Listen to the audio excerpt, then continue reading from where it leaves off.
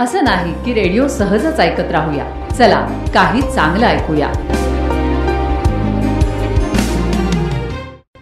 मित्रांनो प्रेमाने दगडाला सुद्धा पाझर फुटतो असं म्हणतात. अर्थात प्रेमामध्ये तितकी शक्ती असते.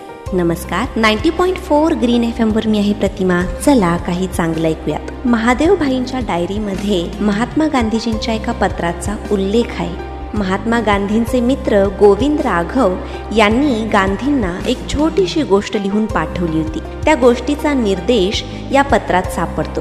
ही गोष्ट आहे बिशप नावाच्या एका तरुणाची. तो एक डोंगर चढत होता. त्यावेळेस एका छोट्या मुलीकडे त्याचे लक्ष गेले. ही मुलगी असेल सात आठ वर्षाची. ती आपल्या दोन वर्षाच्या भावाला कडेवर घेऊन डोंगर चढत होती. चालताना तिला दम लागत होता.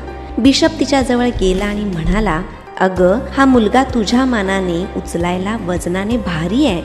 याला कडेवर घेऊन तुला वरच्या मंदिरात जाणे कसे शक्य आहे? ती छोटी मुलगी सहजपणे ताबडतोब म्हणाली तो माझ्या दृष्टीने उचलून घ्यायला थोडा सुद्धा भारी नाही. अहो तो माझा भाऊ आहे.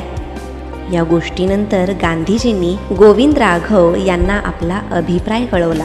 भारी नाही मेरा भाई है. जगातील केवढा महान विचार त्या मुलीच्या मुखातून बाहेर पडलाय. हा विचार म्हणजे महाकाव्य आहे. मित्रांनो संसारातील सर्व कष्ट दुःखे संकटे प्रेमशक्तीमुळे आनंदाची उगमस्थाने बनतात. प्रेमाने पाषाणाची फुले होतात काट्याचे मुकुट होतात. जेव्हा आपण म्हणतो हे काम माझं आहे तेव्हा आपण त्या आपलेपणाने तेवढ्या मेहनतीने ते काम पूर्ण करत असतो. जेव्हा आपण म्हणतो हा भारत देश माझा आहे तेव्हा माझा या एका शब्दामुळे त्याच्या प्रती आपलेपणा निर्माण होतो. त्यामुळं कोणतंही काम करताना ते काम पूर्णत्वास न्यायचं असेल तर तेवढ्या आपलेपणाने करा. हे माझं काम आहे या भावनेने करा. आणि जगायचं तर असं जगा की लोकांनी तुमच्याकडे बघून जगायला शिकलं पाहिजे.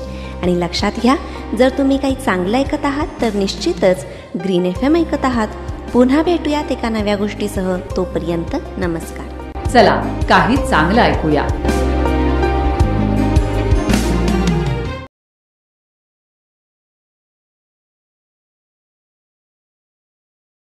तर मी आरचे प्रतिमा तुम्हा सर्व लिस्नर्सना विनंती करते की तुम्ही यूट्यूब चॅनलवर जा आणि green F M ninety point four Sangli search करा आणि सबस्क्राईब करा. आणि लक्षात घ्या आपल्या ग्रीन एफ एमचा लोगो हा दोन पानांचा आहे. तर मग पटकन सबस्क्राईब करा आणि ऐका तो माल कार्यक्रम